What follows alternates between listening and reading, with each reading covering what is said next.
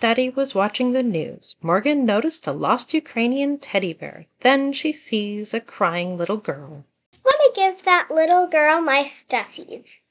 It'll be hard to get your stuffies to that little girl. Teach them how to make stuffies. Way I can help the little girl feel better. Morgan wants to teach first responders firemen, EMTs, nurses, doctors, police, and even soldiers.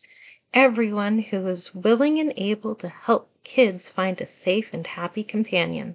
Because they may have lost their little dollies. And I don't want them to be sad or bored. I want them to be happy. These stuffies need to be simple to make, require very few resources, and be light and easy to carry and store. I'm going to teach people how to make these cute little handkerchief dollies so you can make them for little girls and boys who want a little stuffy. How to make little dolls so kids can feel a lot better. You'll need a handkerchief or a bit of fabric, a small ball of soft material, and a hair tie or a bit of string. Flip this over. You need to flip this over so the blurred side's up. The blur side up. Blur Yeah. side up.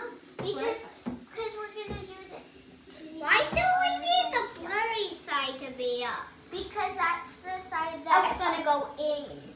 Yeah. Okay. First, you fold it almost half of the way. Almost halfway. Yeah, like that. Like Then that. you make sure it has a fold. Then you put your ball on the middle of the fold. Then you fold it back over. And then you grab the ball from the middle. You twist it. Now you rubber band it. How many times does it go around? Three. Three. Okay.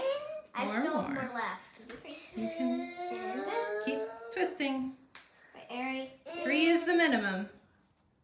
only three. Then you take the Wait! excess. Then you grab a corner. Trying to do more than one figure team.